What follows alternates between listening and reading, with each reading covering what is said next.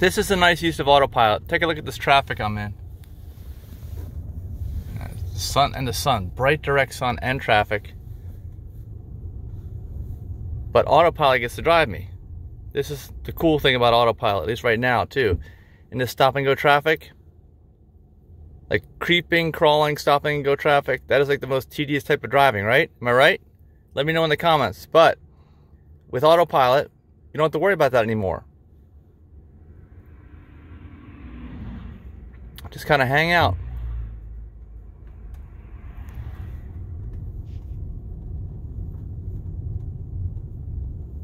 It's the way to go. Whoop, pothole.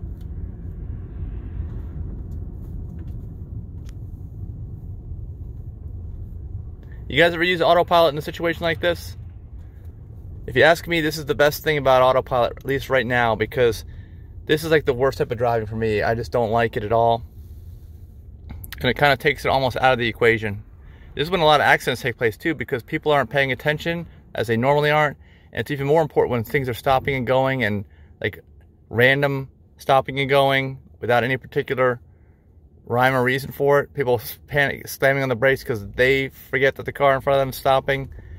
But the autopilot here just does it without any kind of emotion or getting angry, road rage, or any of that, right?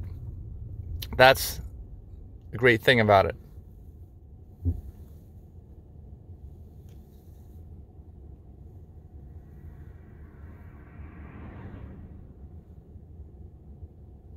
Well, it's on hold. They, that's one thing actually, that's a new thing that they've done. See, it said, it said hold up in the screen there. I don't know if you saw it. But it wants to make sure I haven't fallen asleep. I had to tap the accelerator to get it going. So I do have to participate on that level. But it's not much. Look at all those cars up there.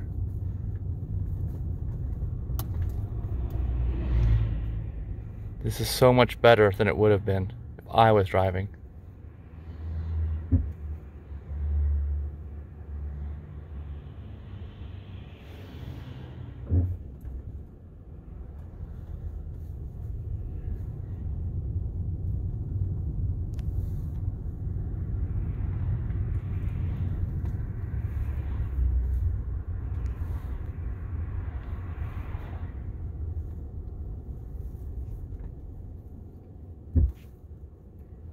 Anyway, that's it for this video.